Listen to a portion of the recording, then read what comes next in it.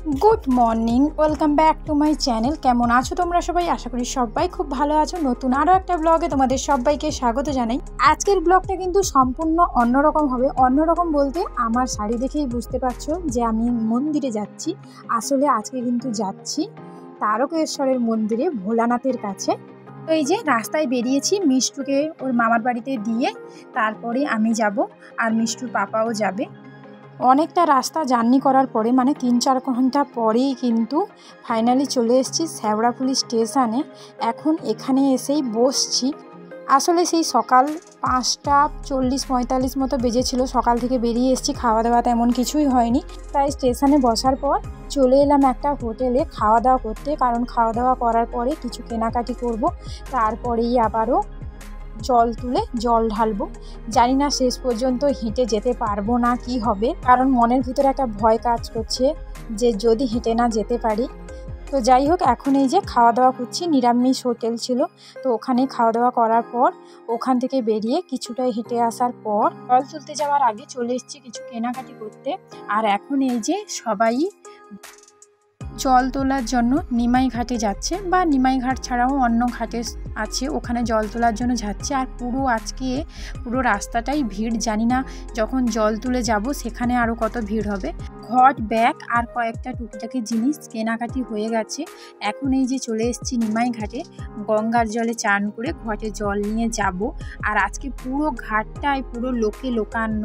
এদিকে যেমন লোক জল নিচ্ছে, ওদিকে আবার অন্য কোন ঘাট আছে, ওদিকে এক্সট্রা টাকা দিয়ে করে জল নিতে হচ্ছে। ওখানে কিন্তু ভিড়ও আছে। তবে সবাই বলছে এটা নাকি আদিঘাট, এখান থেকেই জল তোলা ভালো। তো গঙ্গায় স্নান করে কিন্তু জল তুলে নিয়ে চলে এসছি। এখন এই যে হাঁটার পালা। তো চারটে ঘটে জল নিয়েছি, চারটে মন্দিরে ঢালবো বলে। হেঁটে কিন্তু সবাই মিলে বেরিয়ে পড়েছি আর আমরা কিন্তু অনেকজনই আছি।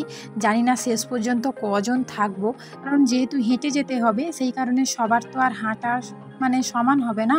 সেই কারণের জন্যই তুমি যখন হাঁটি পুরো ফুল এনার্জি নিয়েই হেঁটেছিলাম, কারণ অনেকটাই হেঁটে হেঁটে চলে গেছি। পরে কিন্তু অনেক রোদ্দুর উঠেছিল, যার কারণে মানে হাঁটা যাচ্ছিল না।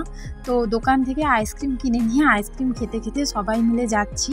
আর অতিরিক্ত রোদ্দুরের জন্য রাস্তাটাও গরম হয়ে গেছিল, যার জন্য চলতে একটু কষ্ট হয়েছিল।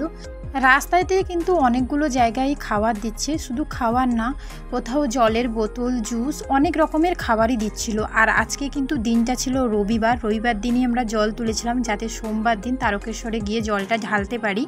আর আমরা জল যখন তুলেছিলাম ওই দুপুর দুটোর দিকে, তো এখন বলতে বলতে কিন্তু সাড়ে চারটা মতো বাঁচতে যায়।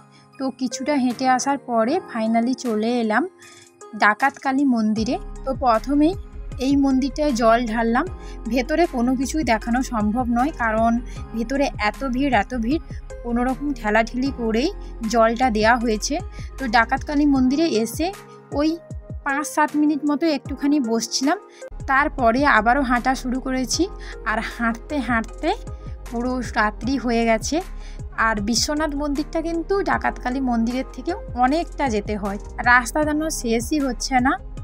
রাস্তার মধ্যে কোনো সময় লোকজন নেই যে এমন নেই। মানে রাস্তায় সব সময়ের জন্য লোকজনের ভিড়। আজকে মনে হয় রাস্তায় পাঁচ থেকে ছ লাখ লোক ছিল। মানে সব সময় রাস্তায় অনবরত লোকজনে ভর্তি ছিল। তো বিশ্বনাথ মন্দিরে কিন্তু জল ঢালা হয়ে গেছে। তারপরে খানিকটা রাস্তা হেঁটে আসার পর এখন কিন্তু রাস্তার কাছেই বসে আছি। অনেকে শুয়েও পড়েছে কারণ এখন বলতে বলতে কিন্তু রাত্রি বারোটা, সাড়ে বারোটার মতো বাজতে যায়।